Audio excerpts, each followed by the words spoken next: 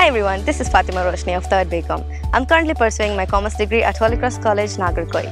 Having taken Commerce at our college, I've got a huge exposure to multiple and wide range of managerial skills by taking part in the workshops and participating in the events at our campus. This has helped me build competence in my specific area of study.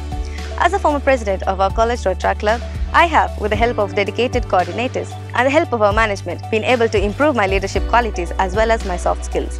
Our college provides various opportunities to encourage us build our self-confidence by organizing events and programs in which I took part in hosting and participating in them. Holy Cross College provides multiple internship opportunities by reputed companies and guarantees placements to all the final year students.